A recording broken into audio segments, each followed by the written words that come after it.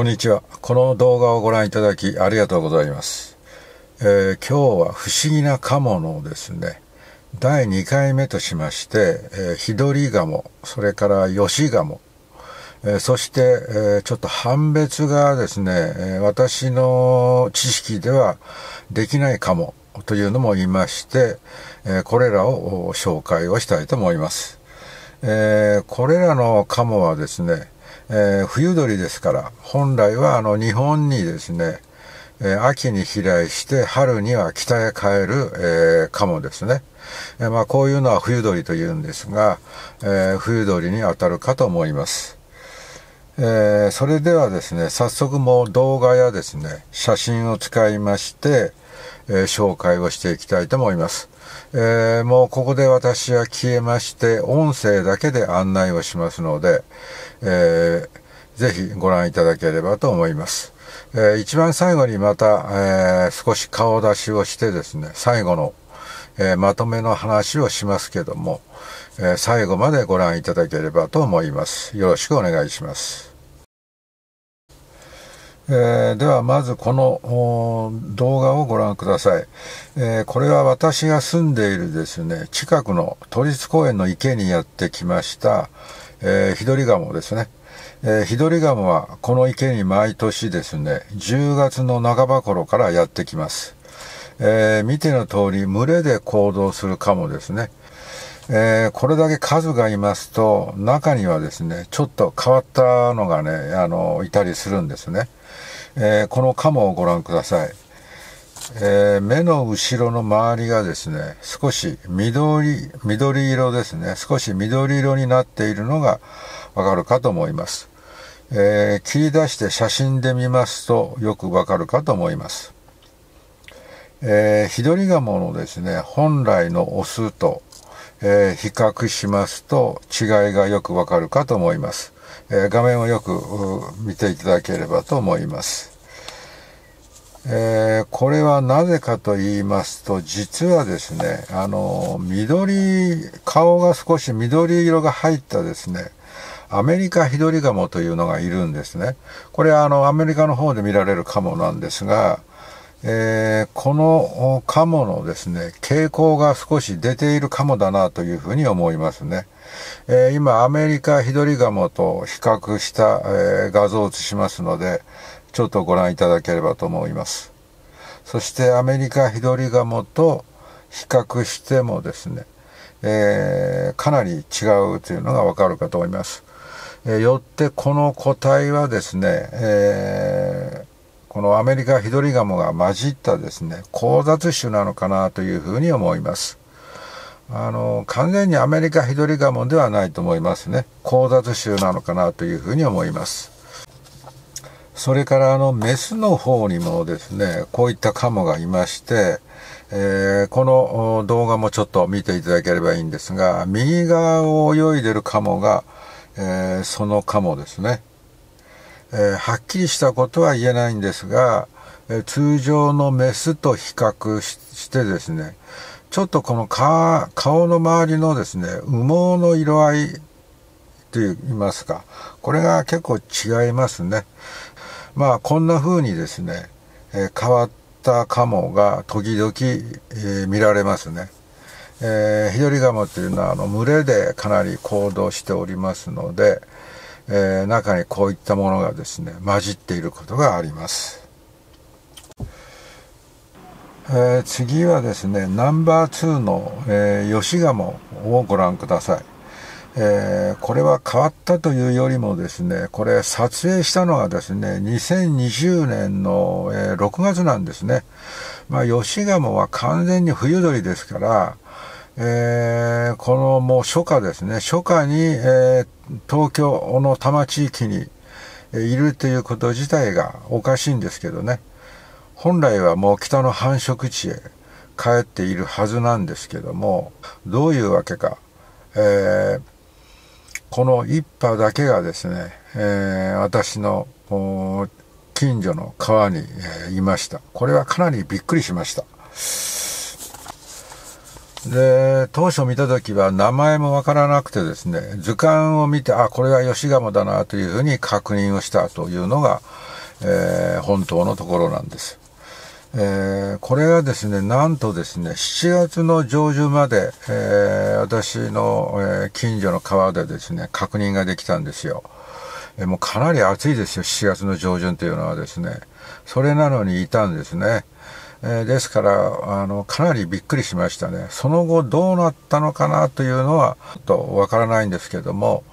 えー、多分ですね、北の方へ帰ったのではないかなというふうに思います。えー、次はナンバー3のこのカモをご覧ください。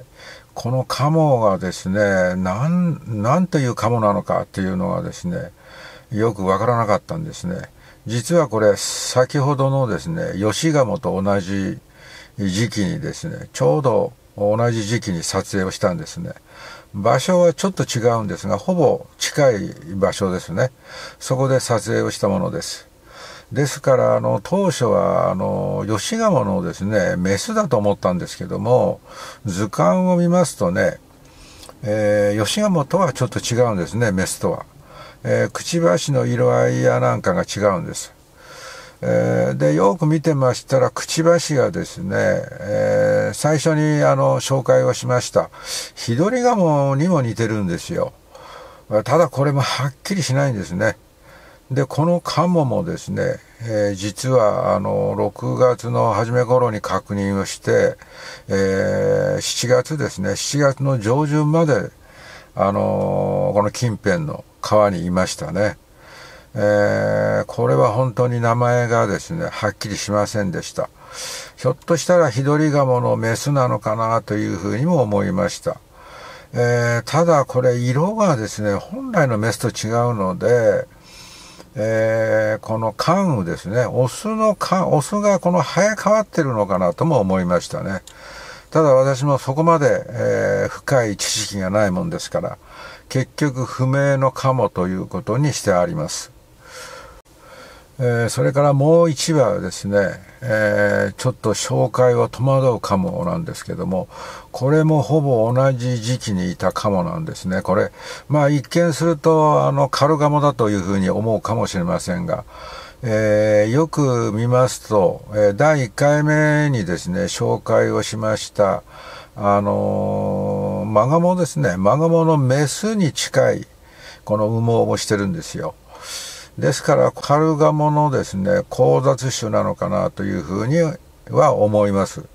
えー、ただ、くちばしがですね、えー、普通、まあ、いろいろなタイプがあるのかもしれませんが、交雑種は。えー、一見すると、えカルガモと同じように黒で、え先がですね、え黄色というふうな風に見えるんですが、ところが、このカモがですね、えー、くちばしの裏がですね、見えた瞬間があったんですよ。それがこの動画なんですが、えー、これ見ますとね、裏が黄色なんですよ。普通これはあのカルガモではありえないですね。カルガモは、えー、黒いくちばしのくちばしで先が黄色なのがカルガモですから、えー、こういうふうに黄色が入ってるのはえー、マガモのですね、色合いがかなり強いですね。マガモのメスの、えー、持ってる特徴がかなり出ているかと思います。ただ、本当にこれがマガモなのかというとですね、マガモでもないような気がしますね。えー、多分、交雑種なんでしょうけれども、え、とても不思議なカモだなというふうに思います。いかがでしょうか、え、不思議なカモのですね、えー、2回目は以上になります。えー、色合いの変わったですね、ヒドリガモは、まあこれは交雑種だというふうに言えると思います。えー、ただあの、渡りを忘れたですね、吉鴨と、それからあの、不明の鴨ですね。よくど、何なのか判別できなかった鴨。まあこれらはなんとかですね、えー、少しは北の方へですね、え移動したのではないかと思いますね。あの、真夏の本当に7月の暑い時期に東京で過ごせるですね、体力があるのかどうか分かりませんけれどもかなりきつい話だと思いますので、えー、北の方へ少しは移動したのではないかと思います。えー、こうしたあの渡りを忘れたカモというのはですねネットで検索しますと一定数やはりいるようですね。えー、結構、まあ結構しても数はそんなに多くないんでしょうが、要所要所にですね、こうしたカモがですね、日本国内に留まっているという事例がですね、えー、見つかります。えー、気になる方はぜひあのネットで調べてみていただければいいんですが、え、種類問わずですね結構日本国内にですね、えー、夏場にとどまっているものがいるようです。えー、これからですね、5月、6月という、まあ、7月にもなってきますけども、えー、こうしたあの渡りを忘れたですね、カモが、えー、身近な場所にいないかどうかですね、ぜひ、あの、散歩の途中でも、え、川とか池をですね、覗いてみていただければと思います。まあ、1回目、2回、今日は2回目なんですが、1回目の、えー、不思議なカモと合わせてですね、えー、カモのいろいろな不思議なですね、生態をですね、見て、えー、いただいて、面白いなというふうにですね、えー、興味を抱いていただければいいなというふうに思います。え、それでは本日は以上で終わります、え最後までご視聴ありがとうございました。